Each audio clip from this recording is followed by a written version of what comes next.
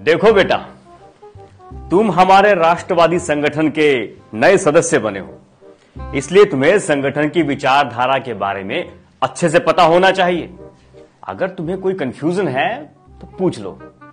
नहीं भाई साहब, अब- तो बस यही पूछना चाह रहा था कि ये जो नई संसद का उद्घाटन हो रहा है, सावरकर के जन्मदिन पर ही क्यों गांधी, अंबेडकर, बोस, भगत सिंह पटेल या किसी और के जन्मदिन पर क्यों नहीं? देखो ये गांधी बोस भगत सिंह पटेल ये हमारे संगठन के शुरू से ही विरोधी रहे हैं।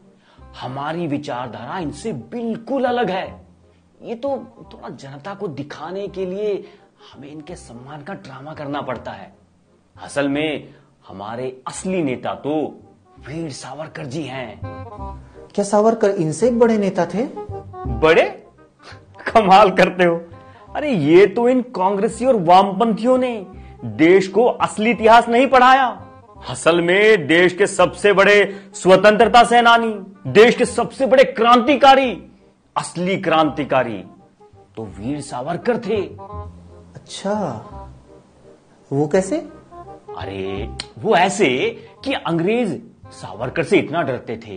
कि सावरकर इकलौते ऐसे भारतीय थे जिन्हें अंग्रेज़ों ने एक ही जीवन में दो दो बार आजीवन कारावास की सजा सुनाई थी।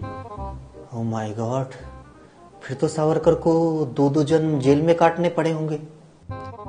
नहीं नहीं वो वो अंग्रेज़ों ने उनको पहले ही जन्म में जेल से रिहा कर दिया था।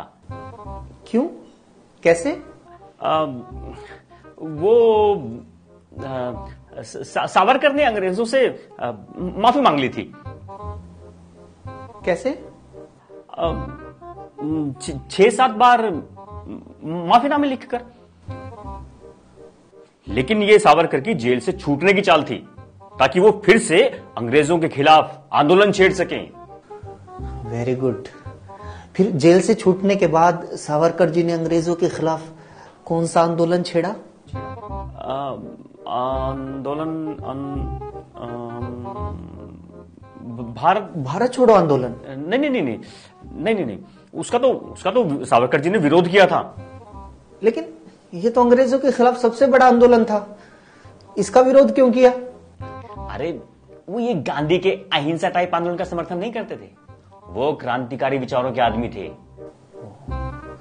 तो फिर अंग्रेज़ों को भारत से भगाने की दूसरी लड़ाई नेताजी सुभाष चंद्र बोस लड़ रहे थे। मतलब सावरकर आज़ाद हिंद फौज का समर्थन कर रहे थे। अरे नहीं यार सावरकर की ये बोसों से भी नहीं बनती थी। वो एक्चुअली बोस ने तो रेडियो पे आकर सावरकर और जिन्ना के बारे में उल्टा सीधा बोला था। क्या बोला था? अरे यही कि जो जिन्ना और सावरकर हैं अंग्रेज़ों के पिट्ठू हैं वो सुधर जाएँ अपनी हरकतों से बाज जाएँ ऑल दैट क्यों? क्योंकि सावरकर हिंदुओं को जगा रहे थे उन्हें प्रेरित कर रहे थे। आज़ादी के आंदोलन में हिस्सा लेने के लिए। अरे नहीं अंग्रेज़ों की सेना में भर्ती होने के लिए ताकि वो और मज़बूत हो सके। आज़ाद हिंद फौज और भारत छोड़ो आंदोलन को कुचल सके।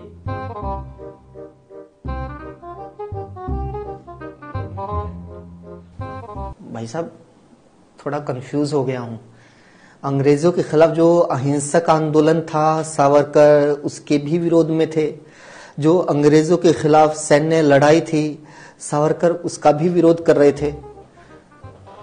मैंने तो यहाँ तक सुना है कि वो अंग्रेज़ों से हर महीना साठ रुपए पेंशन भी लेते थे।